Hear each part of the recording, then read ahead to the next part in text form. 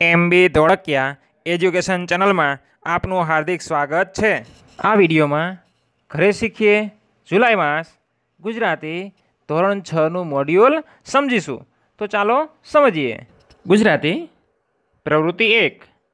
કેમ છો મિત્રો? તમે ગયા મહિને કવિતા બનાવી હશે. તમને કવિતા લખતા આવડી ખરી? આ મહિને આપણે બે વાર્તા સાંભળીશું. રવિશંકર મહારાજની વાત પણ કરીશું. પણ સૌથી પહેલાં આપણે એક રમત રમીએ. આ રમત જરા સમજવી પડે તેમ છે. નીચે એક શબ્દ ચોરસ આપેલ છે, જેમાં સાત હાર અને આઠ સ્તંભ છે. તેમાં કેટલાક શબ્દો તમારે શોધીને લખવાના છે. જે શબ્દ શોધવાનો છે, તેની માહિતી તમને નીચે આડી ચાવી અને ઊભી ચાવી લખેલું છે, ત્યાં આપેલી છે, આડી ચાવીમાં આપેલ માહિતીના શબ્દો તમારે આડી હારમાં લખવાના થશે. જ્યારે ઊભા સ્તંભ માટે ઊભી ચાવી છે, જેમ કે આડી ચાવીમાં પહેલા ક્રમે લખ્યું છે કે, ઈશ્વરની જ્યાં પૂજા કરીએ છીએ તે સ્થળ. તો તેના કાંસની અંદર ત્રણ અક્ષર એમ લખ્યું છે. એટલે કે તમારે ચોરસમાં જ્યાં એક આપેલ છે કોયડાની અંદર એક નંબરનું ખાનું, ત્યાંથી ત્રણ અક્ષરનો શબ્દ લખવાનો છે અને જેનો અર્થ જે છે એ ઈશ્વરની પૂજા કરવાનું સ્થળ એવો થતો હોવો જોઈએ. તો યાદ આવી ગયું ને બાળકો? હા. અને બીજું, એ પણ ધ્યાન રાખવાનું છે કે આડી ચાવી લખતા હોય ત્યારે ઊભી ચાવીના શબ્દોને પણ ધ્યાનમાં લેવાના છે. નહીતર ઘણી વખત જે અહીંયા શબ્દ આપેલા હોય, એના આપણે કોયડાની અંદર જ્યારે શબ્દ લખતા હોય, ત્યારે બે ત્રણ શબ્દો પણ બનતા હોય. તો ઊભી ચાવીનો શબ્દ છે એ શું બને છે એ પણ ધ્યાનમાં લેવું પડશે. બસ, તો લખવા માંડો. જોજો હો, થોડા શબ્દો નવા પણ છે. તેમાં તમારે ઘરમાં અન્યના પણ મદદની જરૂર પડે. તો મદદ લેવાની છે. તો ચાલો બાળ દોસ્તો, અહીંયા આપણે ચોરસ ટેબલ જે છે, એને ભરીએ. બાળ મિત્રો, આડી ચાવીમાં એક ઈશ્વરની જ્યાં પૂજા કરીએ છીએ, તે સ્થળ ત્રણ અક્ષરનું લખવાનું છે. તો બાળ મિત્રો, ટેબલની અંદર એક નંબરનું ખાનું, ત્યાં ત્રણ અક્ષરથી આપણે એ લખવાનું છે. તો એ અહીંયા પહેલો અક્ષર છે એ મ છે અને ત્રીજો અક્ષર છે એ ર છે. તો અહીંયા આવશે, વચ્ચેનો અક્ષર મૂકવાનો થશે. એ આવશે દી, મંદિર. એ ઈશ્વરની પૂજા કરવાનું સ્થળ છે. તો વચ્ચેનો અક્ષર દી આવ્યો, તો બે નંબરની ઊભી ચાવી આપણે જોવાની છે.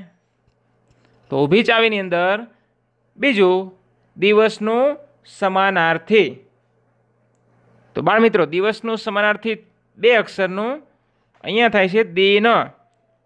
તો એ ચાવી મળી જાય છે. એટલે એ પેલું કામ સાચું છે. ત્યારબાદ જોઈએ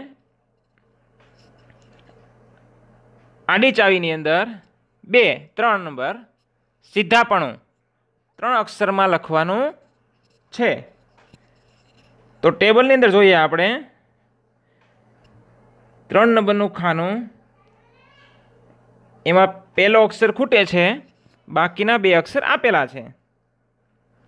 તો પહેલું જે ખાનું છે, ત્રણ નંબરનું, એમાં સી મૂકીએ તો સીધા એ. સીધાપણાનું સમાનાર્થી જેવું છે. તો ત્રણ નંબર ઊભી ચાવી પણ જોવી પડશે બાળ મિત્રો તો ઊભી ચાવીની અંદર ત્રણ નંબર છે એ દાદરો. એ બે અક્ષરમાં લખવાનું છે. તો અહીંયા સીધાઈ મૂકતા ઊભું જોઈએ તો સીડી થાય છે. તો એ સાચું થાય છે. તો આ રીતે એ ઊભી અને આડી ચાવી છે મળી જાય છે. ત્યારબાદ આગળ વધીએ આપણે. આડી ચાવીની અંદર પાંચ નંબર, ખાલી જગ્યાને કણ અને હાથીને મણ એવી એક કહેવત છે. તો પાંચ નંબર જોઈએ ટેબલની અંદર પહેલું ખાનું છે એ ખાલી છે, બીજાની અંદર ડી છે. અને આ કહેવત છે કે કીડીને કણ અને હાથીને મણ. તો અહીંયા કી આવશે. એટલે આખો શબ્દ બનશે કીડી. એમાં પાંચ નંબર ઊભું જોઈએ. તો ઊભી ચાવીની અંદર છે એ પાંચ નંબર પ્રતિષ્ઠાનું સમાનાર્થી. પ્રતિષ્ઠાનું સમાનાર્થી છે એ આ પાંચ નંબરનું ઊભું બનાવવાનું છે. તો પહેલો અક્ષર છે એ કી છે. બીજો આપણે મૂકવાનો છે નીચે. કીર્તિ. તો એ એમનો સમાનાર્થી શબ્દ બનશે. તો એ ચાવી ત્યાં મળી જાય છે. એટલે એ રીતે એ સેટ થશે. ત્યારબાદ આડી ચાવી છ નંબર. આપણે જેના વડે શ્વાસ લઈએ છીએ એ અંગ. તો આ અંગ તો બધાને ખબર જ હોય. છ નંબર. પેલો અક્ષર નથી આપેલો, બીજો છે ક છે. નાક. હા. તો એ રીતે ઊભી ચાવીની અંદર જોઈએ તો ચાર નંબરનું જે ખાનું જે છે, એ ઊભી ચાવીને લાગુ પડે છે. આપણે નાક મૂકીશું તો ઊભી ચાવી છે ચાર નંબરની છે, તો ચાર નંબરની ઊભી ચાવી જે છે, એ જોઈએ. સ્પર્ધામાં જીતવાથી ખાલી જગ્યા મળે છે. તો બાળમિત્રો અહીંયા પહેલો અક્ષર ઈ છે, બીજો આપણે ના મૂક્યો. ઈ ના. તો ત્રીજો અક્ષર ખૂટે છે. તો સ્પર્ધા જીતીએ તો આપણને શું મળે? હા ઇનામ તો ઇનામ સરસ. તો એ ત્યાં મૂકવાનું થશે. ત્યારબાદ આવે છે. આડી ચાવી.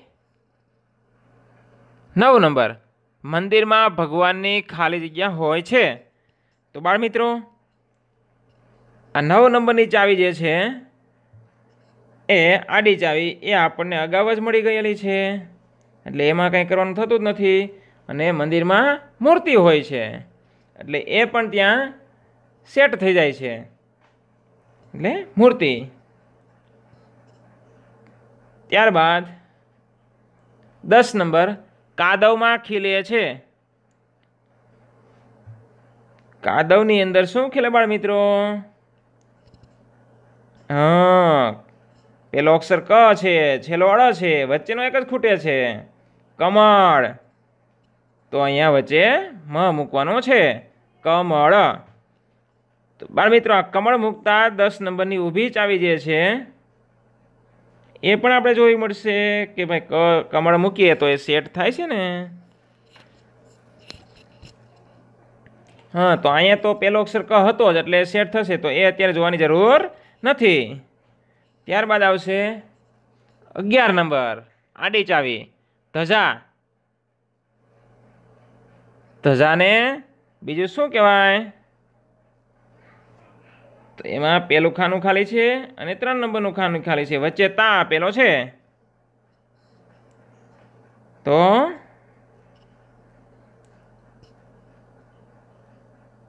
પતાકા. ધજાને આપણે બીજું શું કહીએ છીએ? ધજા પતાકા. પતાકા. એ રીતે એ સમાનાર્થી બનશે. તો ત્યાં આઠ નંબરની ચાવી એ લાગુ પડે છે. એટલે આપણે આઠ નંબરની ઊભી ચાવી જોવી પડશે કે પ મૂકીએ તો આઠ નંબરની ચાવી પાછી બને છે ને, તો આઠ નંબરની ઊભી ચાવીમાં જોઈએ. રાત્રે ઊંઘમાં આપણને ખાલી જગ્યા આવે છે. ઊંઘમાં શું આવે ભાઈ? સપના આવે. હા, તો એ સપના અહીંયા આવી ગયું છે. તો એ સાચું છે આપણું. ત્યારબાદ બાર નંબર બરફની દીકરી. બાર નંબર આડું છે, એ બરફની દીકરી, તો પેલો અક્ષર આપણને હી આપેલો છે. બીજો ઘટે છે, એ મૂકવાનો છે. તો અહીંયા દસ નંબર ઊભી ચાવી પણ જોવી પડશે. એ ત્યાં બંને અક્ષર ભેગા થાય છે. તો દસ નંબરનું ઊભું જે છે, ઊભી ચાવીની અંદર જે આપેલું એ છે. દસ નંબર છે જ નહીં. પણ અગિયાર નંબર છે.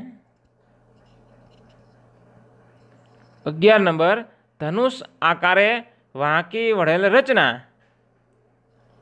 એને શું કહેવાય? તો બાળ મિત્રો, અહીંયા દસ નંબર છે, એ આપણે અગિયાર નંબર ગણવાનું છે. અહીંયા ભૂલ આપેલી છે. તો ધનુષ આકારનો હોય, એમને કમાન કહેવાય. કમાન. અને બાર નંબર આડી ચાવી જે છે, એ બરફની દીકરી હિમા.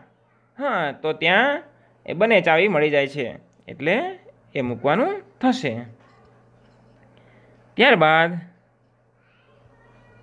તેર નંબર આડી ચાવી માણસ જ્યારે મહાન બને છે, ત્યારે તેને કહેવાય. પાંચ અક્ષરનું છે. તેર નંબર આડી ચાવી. તો એમાં આપણને પેલો અક્ષર નથી આપ્યો, બીજો આપેલો છે હા પછી એક ખાલી ખાનું છે, પછી ન આપેલો છે, અને ચૌદ નંબરનું ખાનું ખાલી છે. તો અહીંયા માણસ મહાન બને, ત્યારે આપણે શું કહીએ? મહા માનવ હા, સરસ. તો મહામાનવ.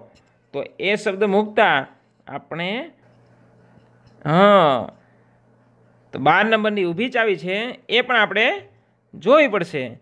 આપણે મહામાનવ મૂક્યું, તો મા શબ્દ છે, મા અક્ષર એ આવે છે અને એ બારમી ઊભી ચાવીને લાગુ પડે છે. તો બાર નંબરનું ઊભું છે, એ સૌથી ઊંચો પર્વત. ચાર અક્ષરનું. તો સૌથી ઊંચો પર્વત બાળ મિત્રો કયો છે?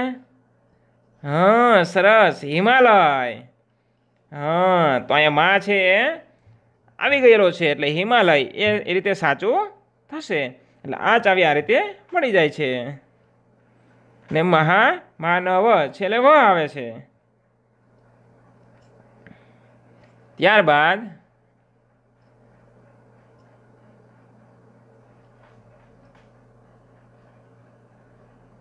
સોળ નંબર તલને હિન્દીમાં કહેવાય. સોળ નંબર જે છે એ જોવાનું છે હવે. તો પેલું જે ખાનું છે, તલને હિન્દીમાં કહેવાય, એ ખાલું છે અને બીજો લ આપ્યો છે. તો શું થશે? હા, હિન્દીમાં તી લ કહેવાય. તો તી મૂકવાનો થશે. હવે તી મૂકીએ તો એ ઊભી ચાવીને લાગુ પડે છે કે નહીં? એ જોવાનું છે. તો ઊભી ચાવી કોઈ લાગુ પડતી નથી. એટલે એ જોવાનું થશે નહીં. તિલ ત્યારબાદ સત્તર નંબર ખાલી જગ્યા હોય તો માળવે જવાય. હા, સત્તર નંબરમાં પેલું છે, મ છે અને બીજું ખાલી છે ખાનું. તો ખાલી ખાનામાં શું આવશે બાળ મિત્રો? હા મન હોય તો માળવે જવાય, એટલે કે ન આવશે. અને એ પણ કોઈ ઊભી ચાવીને લાગુ પડતું નથી, એટલે મન. ત્યારબાદ જોઈએ. અઢાર નંબર, આડી ચાવી. કવિતા. કવિતાને બીજું શું કહેવાય?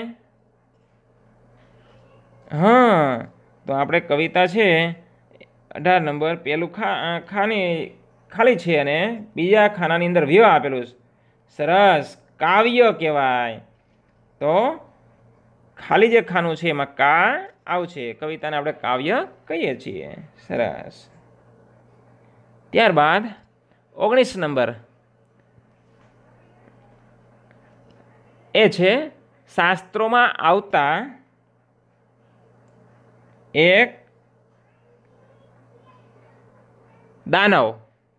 શાસ્ત્રો આપણા જે છે એમાં એક દાનવનું નામ છે. તો એ દાનવ, એટલે એનું નામ શું હતું? એ અહીંયા લખવાનું છે.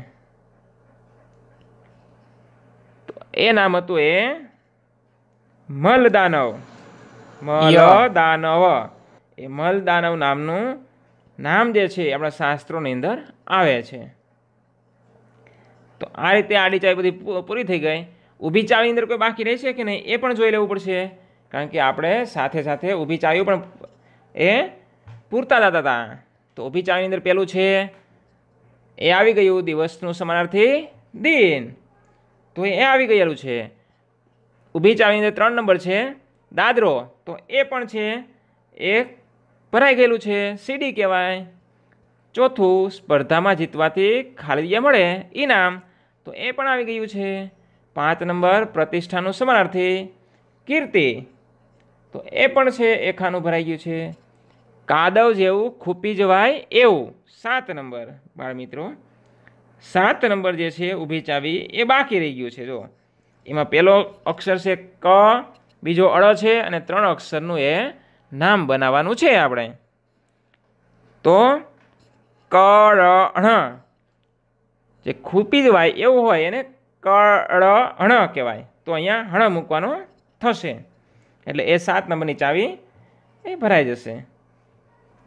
ત્યારબાદ આઠ નંબર, રાત્રે ઊંઘમાં આપણને ખાલી આવે છે, તો આઠ નંબરનું ખાનું છે એ ભરાઈ ગયું છે, સપના. નવ નંબર, ઠેકાણું શબ્દનું સમાનાર્થી. તો ઠેકાણું. તો એ